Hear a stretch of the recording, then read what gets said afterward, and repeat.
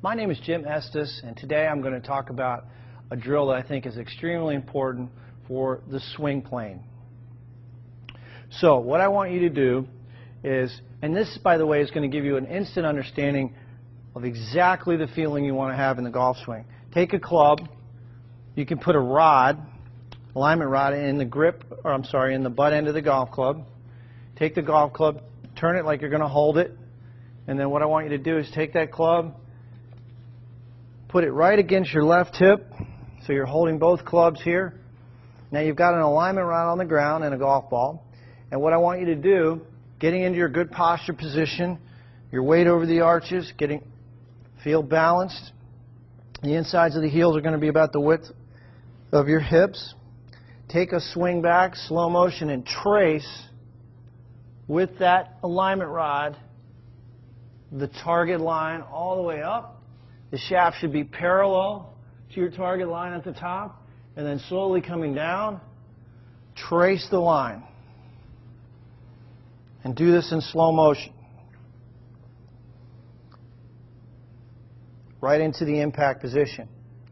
So this is a great feedback tool, visual feedback tool for learning the proper swing plane.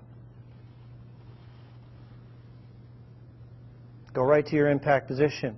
I encourage you to do this drill in slow motion. And if you have five minutes a day, if you do this drill every day, I guarantee you're going to improve your golf swing. So again, I think you'll find this to be extremely helpful. JimEstesGolf.com if you have any questions. Videos to watch. Lock your elbows. Now this was the last swing you just made. At impact, you bent this elbow, see? Mm-hmm. And you didn't get any weight shift. Right. Now, so at impact, we change your setup to feel like your arms are fully extended. You lock that left elbow, pinch your upper arms together. There you go. And then try to create that feeling at impact. Right.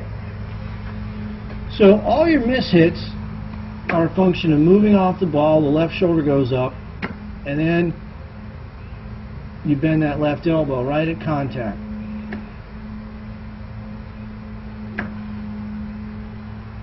So, there's only two things you can take away from this lesson. Left shoulder down. Now, we did talk about your pre-shot. Getting your left shoulder pointed at the target. Playing the ball back a little more with your 7-iron through pitching wedge. Make that left shoulder go down. And then full extension at impact. Driving your whole body.